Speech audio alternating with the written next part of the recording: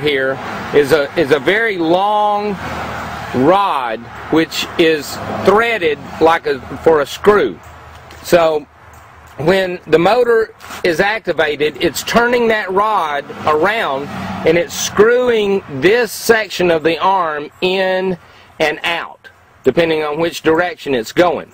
So if you need, if you first get this and you need to extend the arm, it'll come um, pulled all the way in. You can just turn it by your hand, by your finger, and it'll open all the way up or it'll close all the way. Um, so what you want to do when you adjust this and figure out how you want yours to be, you want to take this bolt off right here. This is just uh, just a nut and bolt that comes right off with the proper tools. Um, also, a, a, thief could do this if they wanted to break into your property. They could take it off. So I'll probably go back at some point and put um, a lock in here so that it won't come in on and off unless you know the combination. But but for now, to adjust the swing of the gate, what you do is you take this off. You screw this all the way in so that it's it's withdrawn, and then you hit the open button on your key fob and what it'll do is this will open all you know swings right here. As you see it's pivoted. So you take this off you'd swing it out some so that it's away from the gate. You'd hit your open and it will open all the way up until it hits the little mechanism in here that makes it stop. There's an on off switch inside here that a little cam nipple hits when it gets to the right spot, it goes around and around, and it, when it gets to the right spot, it stops it. So you want to open it all the way up. Then what you would do, you I swing swing it out to here, unhook from the gate, and it's all the way open. Then what I did was I, I swung the gate over to here, and at that point I decided where that fully open arm needed to be in relation to this, I marked it with a, with a marker, and then I bolted this onto this rod. Okay, at that point, I was able to have it in the fully open position. Then what you do, once it's fully open, then you attach it. And so it's attached to your gate. The actuator arm and the gate are attached. Then you close it. And what will happen is it will close until the actuator control in here, the little cam goes the opposite direction, and when the cam hits the off button in here, then it stops. Now, this is where I ended up spending actually more time than I wish I had trying to get that coordinated with the open and close with the two gates so that they did what they were supposed to at the same time.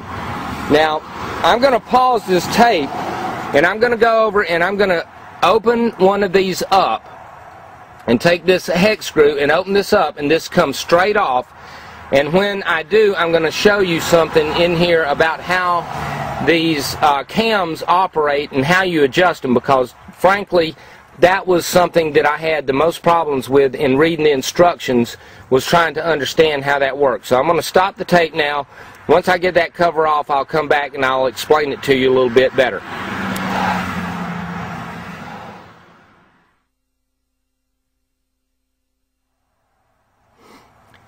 Okay, now I have the cap off of the actuator arm and what we're doing is we're looking at the guts of this. And what's really important, I hope that you're able to see this well, you have this round section that spins, okay? It goes around and around, and there's, if you can see, there's a nipple on it. See how it's more oblong on one side? And what happens is when that spins around, uh, and it gets to, there's a little black button right here between the two that you can hardly see, but it is there. And when that nipple hits that black button, it stops the motor. Now, it's actually in two sections because there's the top section is for the stop, the bottom section is for the open.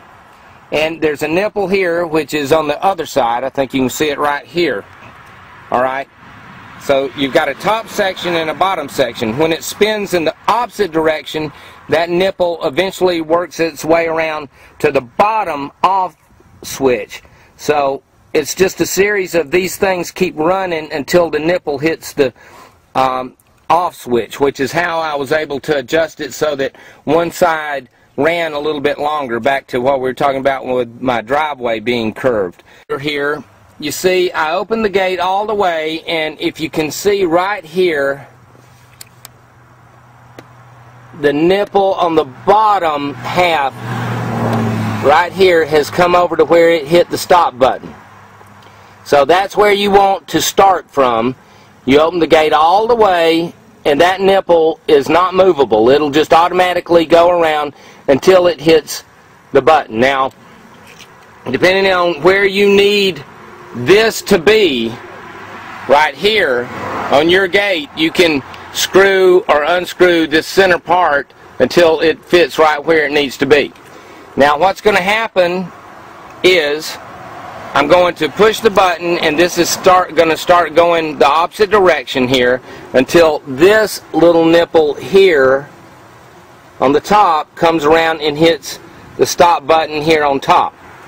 So let's see. Now you see see how it's kind of moving around, it's moving around. It moves very slowly.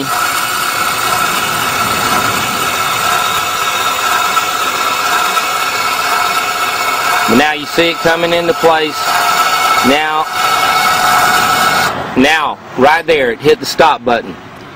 If that does not stop where you want it to stop, and this is the part that was so difficult for me to understand in the instructions, you put your fingers right here on this top part of it and you lift it. It's got a little spring loaded in it. And you can actually pull up and lift it and you can move it click by click either forward or backwards until that nipple hits where you want it to when you want it to do. So the bottom part you cannot change. That's always going to be fully open. But the stop, when you're closing the gate, you can adjust where that nipple is by lifting up, take your two fingers like this and kind of pinch it and lift it up and you can turn it left or right, click by click, and just you just have to play with it until you get it to where they both start and stop at the same place. They give you instructions of distance that you need to be from the center of your hinge right here to the location of this bracket okay and how far out this needs to be mine is called a pull to open type gate. So you see the actuator arms are, are fully extended when it's closed and when I hit open they start screwing inward.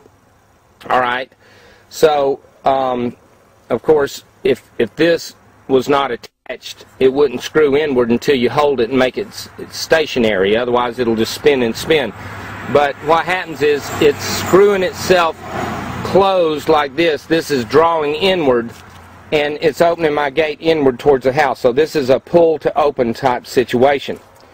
Um, to, to have that, you need to have this, the center of this, approximately six inches from the center of your hinge. Okay? And then from here out to here has to be anywhere from six to seven and a half inches. And they have diagrams about this in the um, instruction manual. So really you just need to get your ruler out. Uh, the purpose of that, of course, is you need the angle. You need the angle so when it draws itself in, it will um, actually open the gate. So that's all I've got. I hope this helps you a lot, and uh, good luck with your gate.